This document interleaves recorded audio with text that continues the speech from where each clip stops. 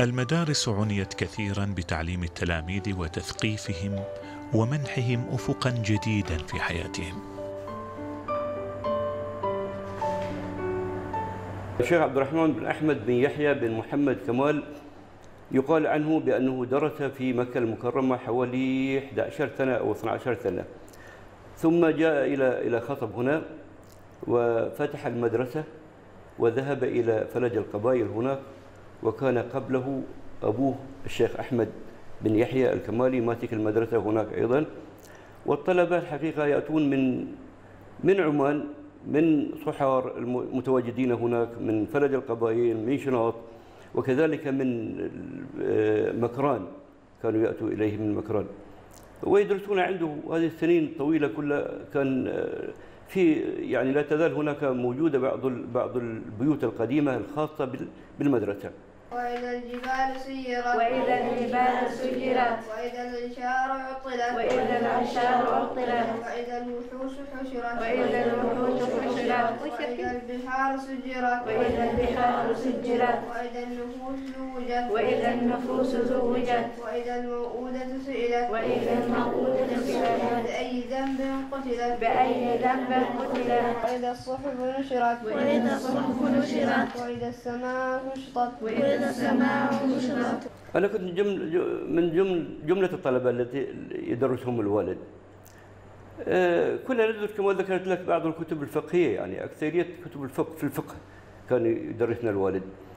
ندرس من بعد صلاة ال- الفجر نخلص بعد بعد صلاة الفجر والأدعية كلها والأذكار اللي هي بعد الصلاة.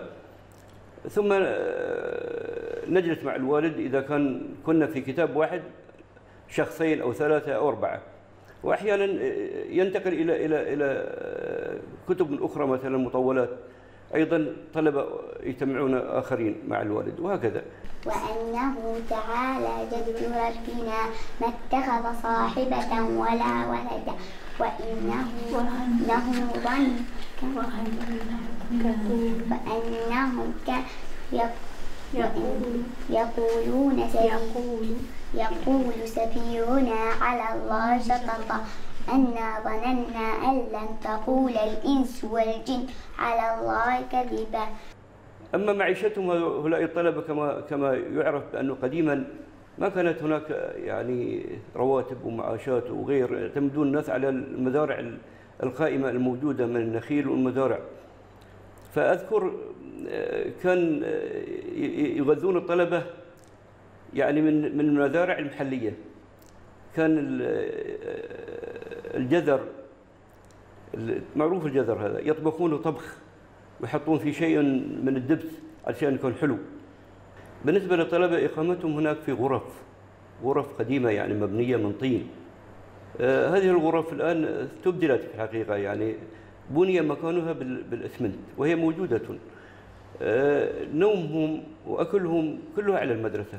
دراستهم بالمجان ما يؤخذ عليهم شيء مقابل شيء.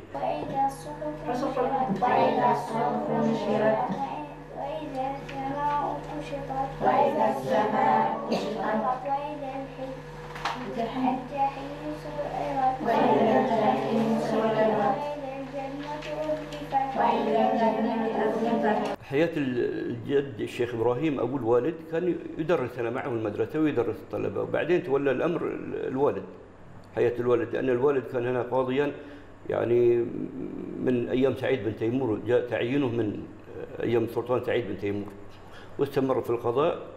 إلى أن توفي سنة 1986 حياة الوالد. يعني أكثر من 50 سنة كان قاضي الوالد. الشيخ إبراهيم كان حقيقة الكتب اللي موجودة عندي هنا أكثر شيء منقولة بخطه. يعني منقولة من كتب مطولات الكتب. أما الشيخ يحيى فله اللي هو أبو الشيخ إبراهيم له مؤلفات. مؤلفاته آه، كتاب اسمه الرتبة العليا في آه، بفتاوي مولانا الشيخ يحيى. هذا كتاب من مؤلفات آه، الشيخ يحيى. وكذلك كتاب وظائف الأبرار وصحائف الأنوار. هذا ابتهالات أدعية آه، يتكون من هكذا يعني من أدعية أذكار. إله على عرش السماء قد استوى وباين مخلوقاته بالتوحد. سميع بصير مبصر بعباده ومن شاء منهم يستقيم ويهتدي.